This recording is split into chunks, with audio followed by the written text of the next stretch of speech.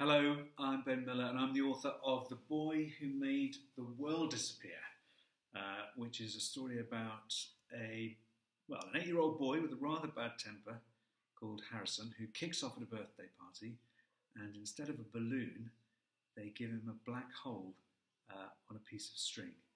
Um, anyway, I thought I would read you um, the, uh, well, the end of the first chapter to uh, tickle your interest, as it were. So this, um, yeah, th- in this bit of the story, Harrison is just leaving the birthday party. His parents have come to collect him, and um, Shelley, the party organizer, is giving everyone their party bags. Okay. one by one, Shelley gave each child a party bag and a beautiful, shiny helium balloon in the shape of a planet. There was a stripy brown and yellow Jupiter for Hector Broom, and a purple Venus for Persephone Brinkwater. Charlie Nwosu got a sky blue Neptune, Marcus Down an orange Saturn with pink rings, and Carl Ng a bluey green Uranus.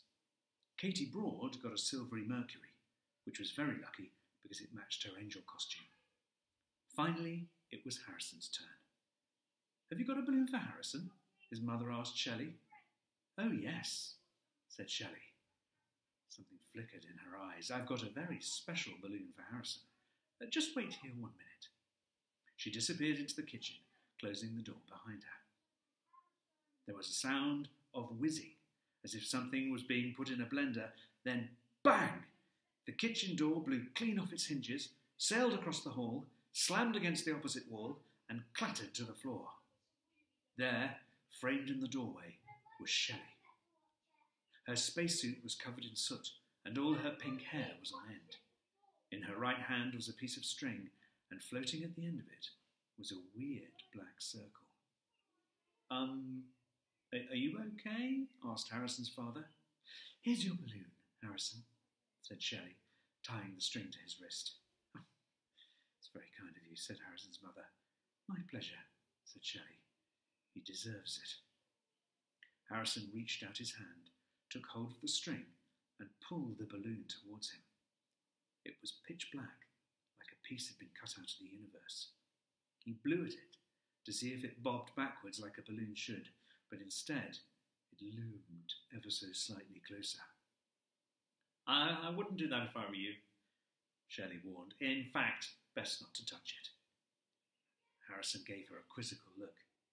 In case it pops, said Shelley smiling a big, innocent smile. Well, what do you say, Harrison? asked his mother. Thank you, said Harrison politely. You're most welcome, Harrison, said Shelley with a glint in her eye. You're most welcome indeed. Well, there you are. That's the end of the first chapter of The Boy Who Made the World Disappear. And uh, of course, Harrison goes on to have many adventures with his black hole because he discovers that anything that makes him cross, he can just put it in there and get rid of it. So uh, in goes Broccoli, um, the next door neighbour's snappy dog, the school bully. Eventually, he even puts his parents in the black hole.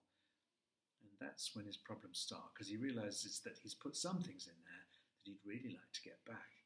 But as you probably know, once you put something into a black hole, it's not very easy to get it out again. The rest of Harrison's adventure is all about his attempt to try and get his parents back.